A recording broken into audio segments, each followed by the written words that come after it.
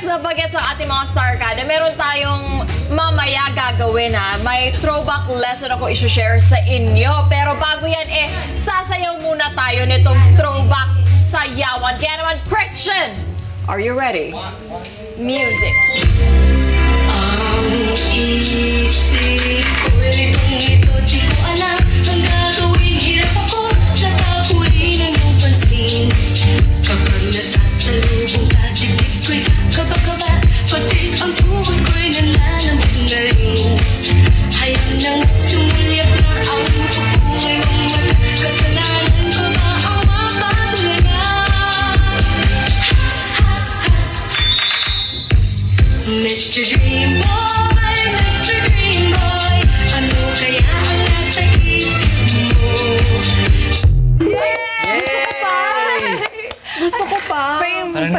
ganun-ganun eh. Kaya pala nag-ano kami ngayon, sneakers die.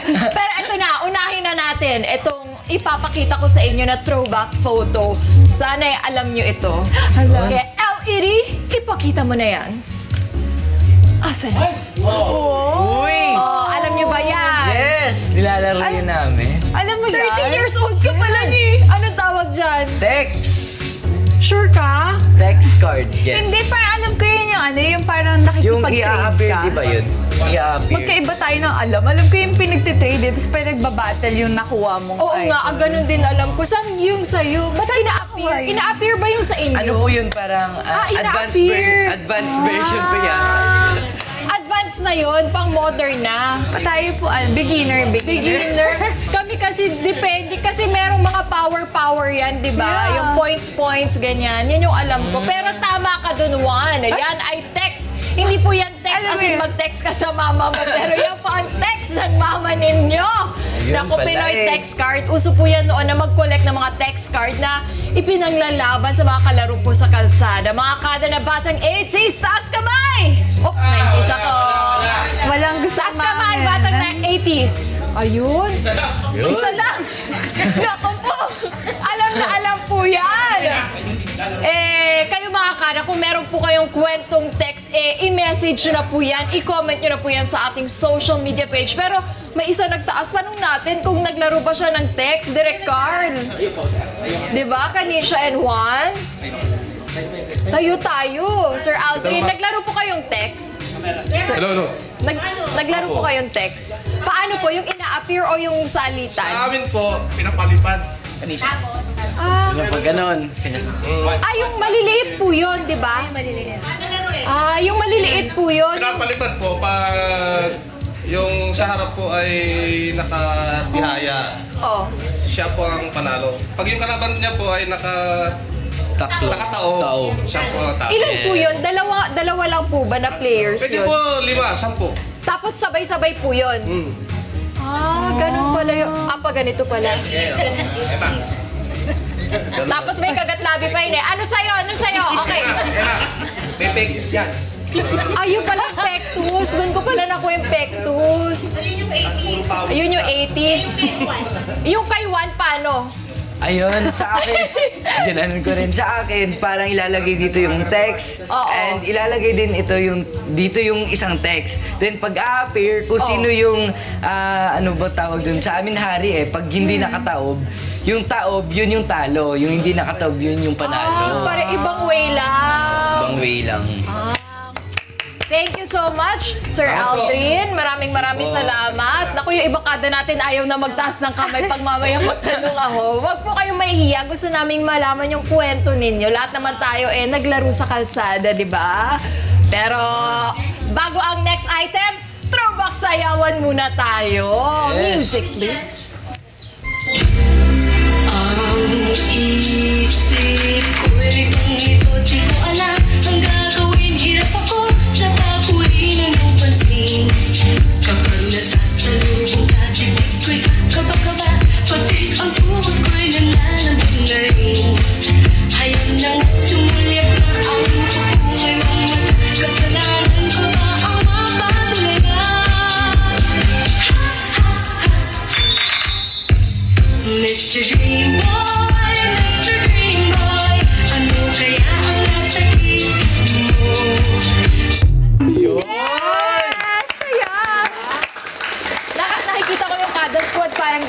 sumayaw mamaya po, papasayawin ko kayo lahat. Pero ito muna, LED picture, ilabas mo na yung throwback photo natin.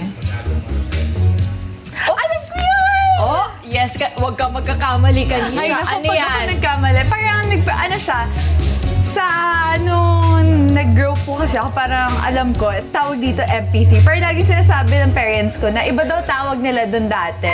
At alam, ah, ang tawag Ano daw tawag? dito ay Walkman! Walkman ba mga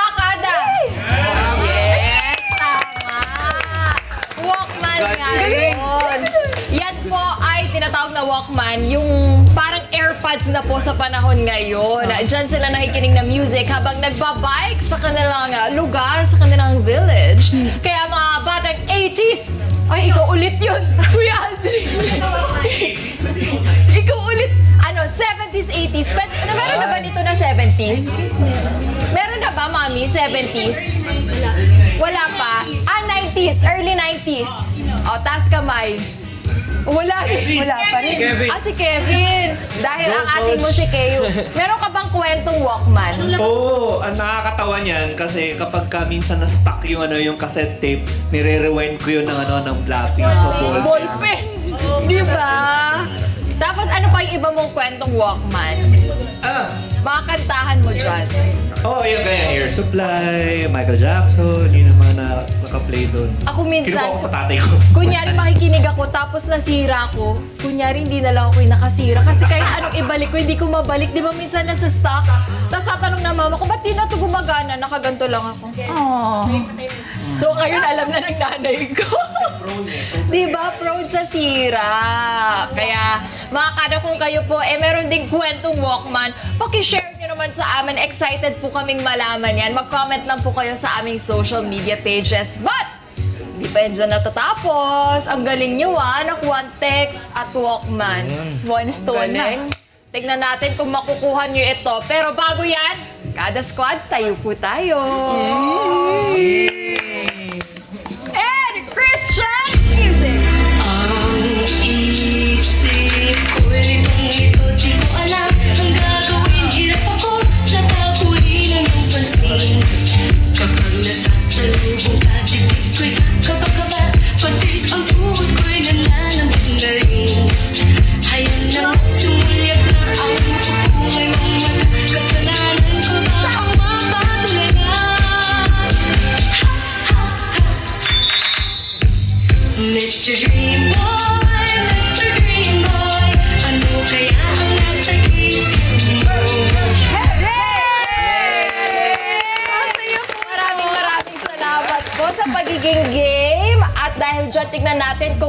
mga Kada Squad at ang Star Kadas natin, eh, alam itong fit, picture tuloy. ang photo na ito, LED ilabas na yan. Oh. Alam nyo ba yan? Ang sosyal ah. Ay, may nagsasabi sa akin. Ay, Ano daw nagsasabi po? sa May likod. bumubulong. Narinig ko na. May bumubulo Alam nyo ba yan, natin. Star Kada? Actually, mga bagets? Ako po, Familiar po siya, pero... Nakaka nakakahiya doon sa pamilya. Parang feeling ko tuloy at tandaan mo. Ganun pala yung pakiramdam. ako po ano, Naabutan mo pa? naaalala ko pong pinapagalitan ako dahil type ako ng type, tapos ganun lang ako ng ganun. Nagsasayak ka ng tinta. Yes po, at ang tawag daw dito ay typewriter. Typewriter, yes! Oh, ang galing ah, kay Alicia. Typewriter po yan. Yan ang laptop ng 80s. Naku, Kuya Aldrin, ikaw na naman to. Naku, typewriter present. Meron ka bang kwentong typewriter, Kuya Aldrin? Meron. Oh, buti na lang. Game na game tong si Kuya Aldrin. Ano, ikaw, ikaw lang yung batang 80s dito, Kuya Aldrin eh. Ano ba yung kwento mong typewriter dyan? Ang nangyayari po sa akin ay madalas po nag stack up. Di na po bumabalik. Opo. Pa- di na paano yung paano yung gagawin mo nun, Kuya Aldrin? Ihihilain lang po. Kamay-kamay, pero Opo. tapos nabibigyan kang tinta, di ba? Opo. Tapos pag Saka- nagkamali ka, Kamali ka, White out. anong tawag? snow pick, yung ano po, liquid decoration. Kaya ko po nail polish yun. Hindi! Tingnan, tingnan mo, Kuya Aldrin, akala nail polish raw yung ano natin. Pwede rin po, liquid nail polish. eraser. Pwede rin po. Pwede. Liquid eraser ang tawag doon, kanisha. Akala ko white nail Meron pa nga doon yung para, pa, para pa siyang ballpen, tapos kailangan i-ano mo muna siya, tapos ididiin mo siya, di ba? Minsan napupunit na yung papel, di mo pa nabubura. Thank you so much, Kuya Aldrin. Buti na ng game na game itong si Kuya Aldrin na ating batang 80s. Diyan po, eto yung mga kada nating mga bagets dyan ha. Diyan po itinatype ang mga reports sa school and mga documents sa opisina at di na po kailangan ng printer. Dahil as you type, napiprint na po agad. Kaya bawal po magkamali. Kundi, naku, ulit-uli. Hindi, trinay ko yun eh, yung para di ba nagkamali ka sa letter, tapos papatungan mo, hindi na pala maintindihan. Kaya mga batang 80s dyan, kung meron po kayong kwentong typewriter, eh, mag-comment na po sa ating Facebook page. Kwentuhan po tayo, mamaya babasahin po namin yan. Kanisha and Juan, nag-enjoy ba kayo sa ating throwback TikTok, ha? Siyempre Yes po, po. nag-enjoy kami. May pag ganun-ganun. Oo nga. Tsaka dami natin natutunan, Di ba? Super. Mm, kasi di ba alam na lang... Ay! Ay! alam na lang. Alam na.